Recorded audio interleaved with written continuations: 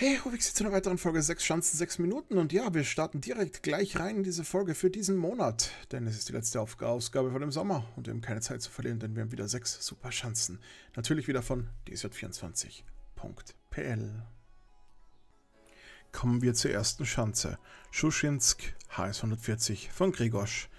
Ja, also es gab ja schon die wunderbare HS99 Variante und da die Schanze auch wie in echt das gleiche Stadion benutzt und die eigentlich nur so schräg oben drauf ist, so ein bisschen drüber, über die andere Schanze, ähm, haben wir das natürlich hier auch wieder. Und hier ist die HS 140, endlich hier ein wundervolles, wundervolles Teil an sich. Mehr kann man dazu nicht sagen, die ist einfach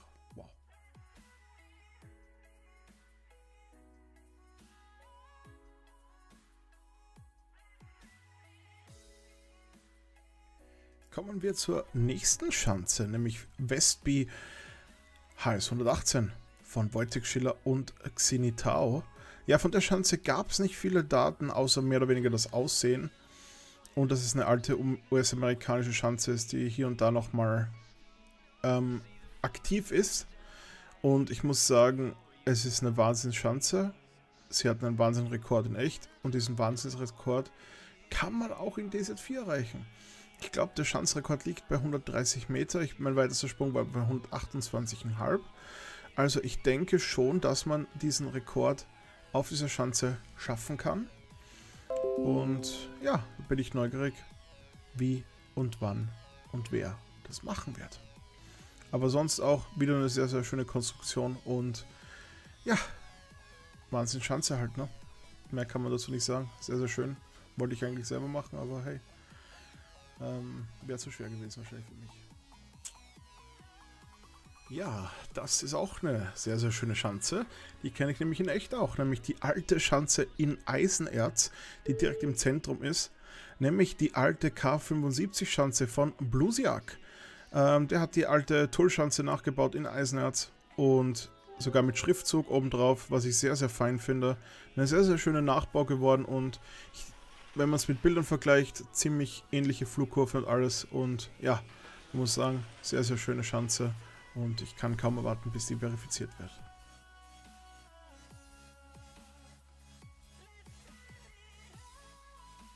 Ja, endlich wieder mal eine Weltcup-Schanze. Nishni Tagil HS 134 und damit ist fast der komplette Weltcup komplettiert. Was für eine wunderschöne Schanze. Ich möchte gar nicht wissen, wie lange das gedauert hat. Ich hätte auf jeden Fall nicht die Geduld dafür gehabt, um das hier zu bauen. Ähm, wunderschön auf jeden Fall. Man sieht hier überall die Details unten drunter vor allen Dingen, wie ich hier versuche mit der Kamera umzugehen auf jeden Fall. Und ja, ähm, was gibt es hier zu sagen? Es ist wie in echt. Es, es gehen sich sehr, sehr weite Flüge aus. Ähm, ob Leute über 140, weit über 140 kommen, sei jetzt mal dahingestellt, sage ich mal. Mein Rekord ist knapp über 140 im Moment. Äh, ich würde sagen, 143, 144 ist vielleicht für Top-Leute weltweit möglich. Und ich bin auch gespannt, wie sich die rekordtechnisch entwickeln wird. Und natürlich sehen wir die dann auch nächstes Jahr im Weltcup.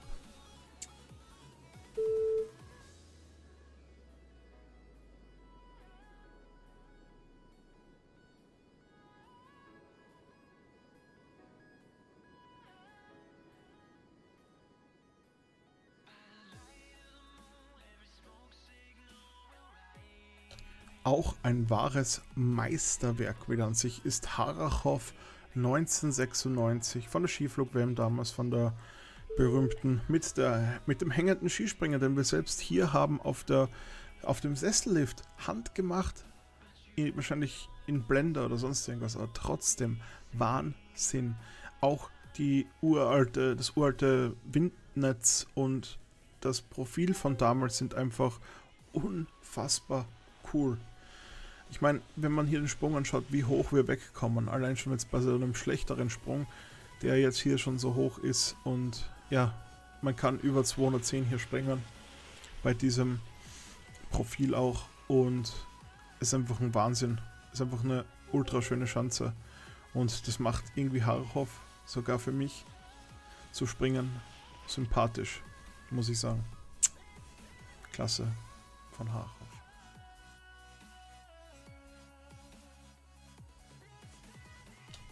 Und ohne großes Tralala kommt zum Ende wieder eine Schanze von mir, nämlich Sinaya HS163. Hoffentlich bald auch im Spiel online verfügbar, mit Weltrekorden natürlich. Wir werden sehen, wie, wann, wo. Ähm, aber ja, hier meine ausgedachte fiktionelle Schanze. Und ich denke, die ist ganz gut geworden. Und da wir heute sehr viel mehr zu Schanzen zu sagen haben, werde ich mich hier kurz fassen und nochmal mit Bildern hier von dieser Schanze verabschieden. Und diesmal sagt mir wieder eure Meinung und wir sehen uns dann demnächst wieder nach der Sommerpause mit sechs Schanzen, sechs Minuten. Vielen lieben Dank und wir sehen uns dann wieder Ende des Sommers. Bis dahin, springt schön brav weiter.